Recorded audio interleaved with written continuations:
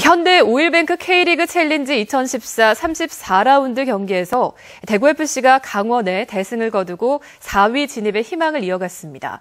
대구FC는 창단 이후 최다 득점 경기 기록까지 갈아치웠습니다. 오늘 경기를 권윤수 기자가 정리했습니다. 승강 플레이오프의 마지노선 4위까지의 승점 차가 5점이었던 대구FC. 반드시 강원을 잡아야 했던 대구FC의 절박함은 골 폭풍으로 이어졌습니다.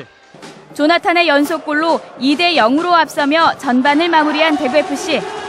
후반 6분 노병준으로부터 시작된 대구FC의 득점 행진은 무려 6분 동안이나 3골이나 이어졌습니다.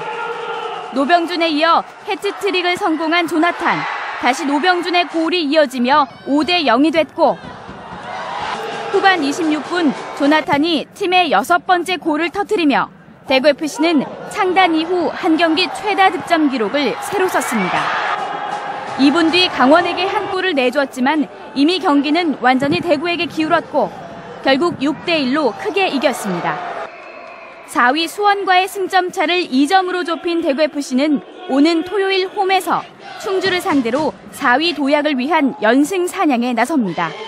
MBC 뉴스 권윤수입니다.